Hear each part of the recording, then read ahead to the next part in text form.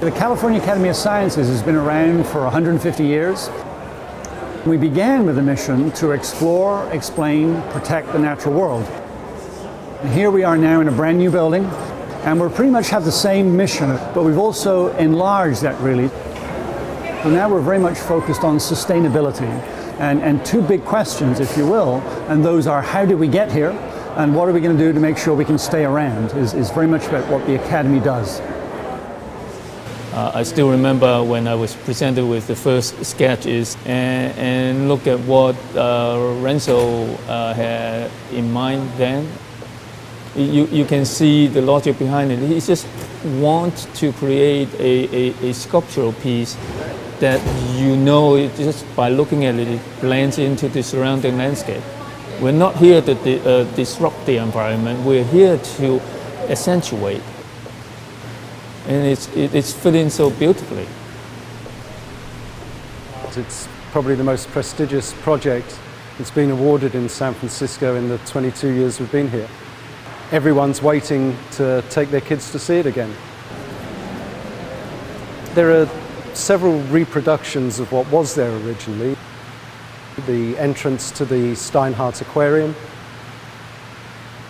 the ground floor of Africa Hall with the painted dioramas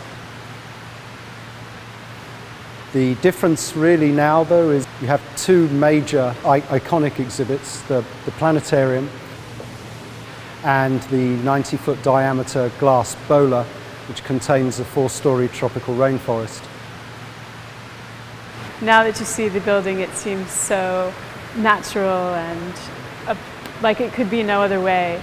But when I first saw the concept I thought this is really going to be another wonder of the world. The roof was from day one a part of the concept, the idea of lifting up a piece of the park. And, and I think that's such a, a beautiful concept. It evolved into an essential part of the building design. It really has metabolic functions. It's, you can think of it as an organ. It helps the building to breathe, uh, ventilation, it provides daylight, it moderates temperature, and uh, it also is an ecosystem. It's, it is, in fact, a living roof, not just plants, but all kinds of birds and butterflies that are making their home now on the roof of the Academy. I got involved in the project in early 2002 when the Academy was first thinking about a new building, but also about transforming themselves as an organization. Some of the, the, the exhibits and some of the, the, the questions we pose to our guests here at the Academy is, you know, what are you doing? How are you living your lifestyle? How might you be able to change it? And as a part of our exhibitry here, we make the point that this museum was built with some very sustainable minds uh, at, at, the helm, so to speak, and we want to make sure that our operations are sustainable so we can be an example and then provide opportunities and suggestions how others can be sustainable as well the Academy was uh, uh, accepted as a green building pilot program in 2001. What a pilot program it's turned out to be. In, in this department, we do a number of programs, including recycling and energy planning, environmental justice, and green buildings. We work with design teams throughout the city to raise the environmental performance of their construction projects.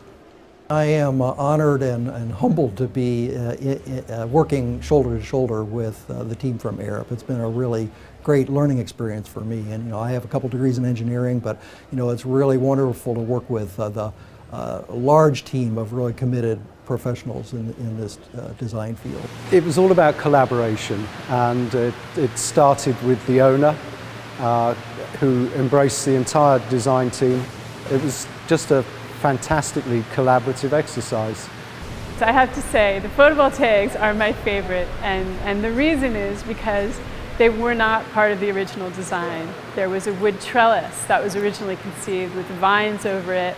That eventually evolved into a sleeker glass and steel structure that Renzo wanted to do. And it was just at that moment when he kind of proposed that, that I was like, gotcha. If you're going to propose glass and steel, we can put the photovoltaics in there. that was just the toe in the door.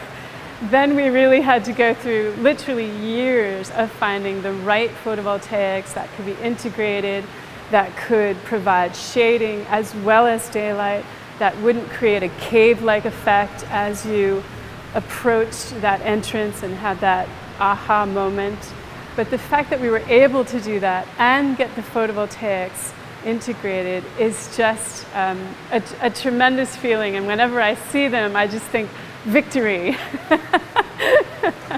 For me, actually, it was when I went to one of the pre-opening events, and there was a um, there was about 3,000 people there, and in the, the building changed completely. The, the building just came alive, and it was about parents bringing their kids, parents bringing their grandparents, and um, there were just some wonderful moments. And as the president of the academy said when he was giving a press address, you know, he finally realized they got it right because it passed the seven-year-old kid sniff test.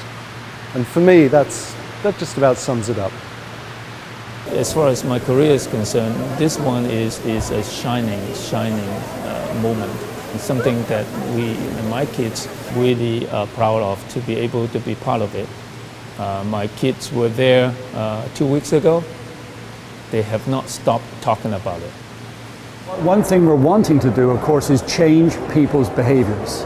I mean, we educate, of course, we inform, we intrigue people when they get here, but ultimately we're about changing people's behaviors. Saying, look, there's a whole range of things you could do to have less impact on the world around you. We're not saying to people, you've got to do all of them. We're saying, here's a menu. Pick the ones that work for you, and little by little, if we all work together, we'll all have a, a, a more positive impact on the world around us.